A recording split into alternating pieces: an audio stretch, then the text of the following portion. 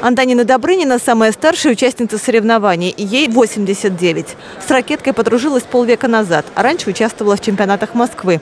И сейчас женщина не пропускает ветеранские турниры по теннису. К поездке в Самару Антонина Васильевна готовилась, тренировалась по два раза в неделю с соседом по дому. Настольный теннис многое дает, потому что очень много движений. Это, а это очень хорошо, потому что и наклонишься, и подвигаешься, и туда, и сюда. И вообще жизнь дает, общение дает. Сколько друзей, смотрите.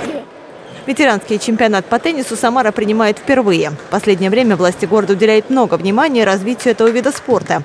Теннис пользуется все большей популярностью. В центре «Первая ракетка» созданы достойные условия для проведения соревнований самого высокого ранга. В прошлом году мы провели успешный чемпионат России среди профессиональных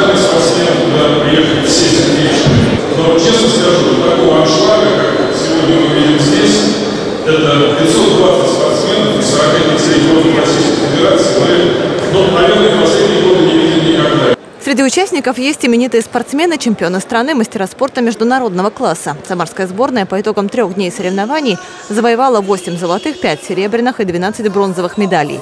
Лучшим в личном и командном зачете стал самарский спортсмен Владимир Тудвасев возрастной категории 60-64 года. Ольга Морозова, Станислав Левин. События.